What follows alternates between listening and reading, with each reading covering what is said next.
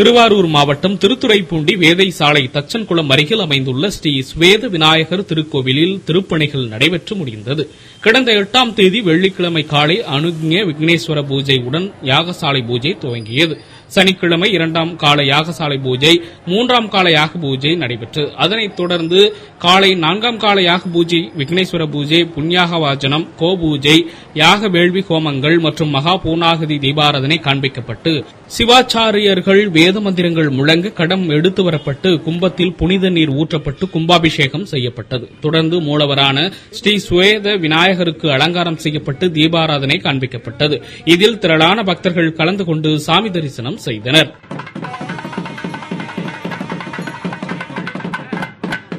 விக்கி நம்மளுடைய காவிரித்துறை ஒத்துழைப்பால நம்மளுடைய கும்பாபிஷேகமானது மிக சீரோடும் சிறப்போடும் நடைபெற்றுக் கொண்டிருக்கிறது. அவங்க சொல்ற மாதிரி எல்லாரும் ஒத்துழைச்சு எல்லோரும் சந்தோஷமா இருக்கணும் சொல்லி பிரார்த்தனை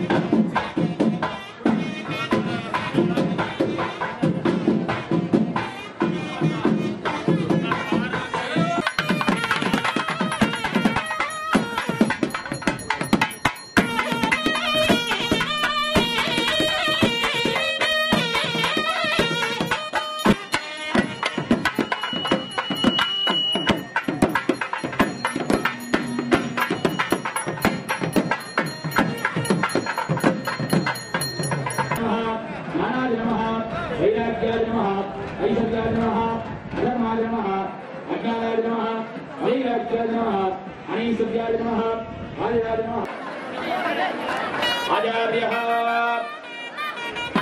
கும்பமஸ்ரேணாந்திரோக்கிய கபலமந்திரேனாவுகஞ்ச சேஃபி யார் பார்த்து வைக்கிறான்னு தெரியாது யார் வைக்கிறது யார் சொல்லிடணும் தெரியாது அதெல்லாம் நூறு ஆறு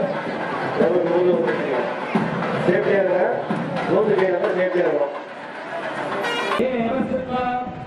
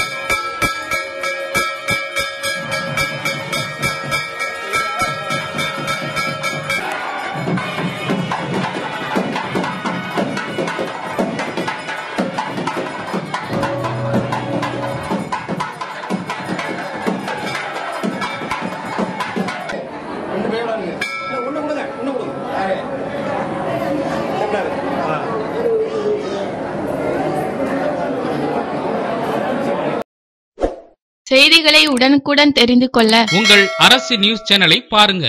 சேனலை சப்ஸ்கிரைப் பண்ணுங்க.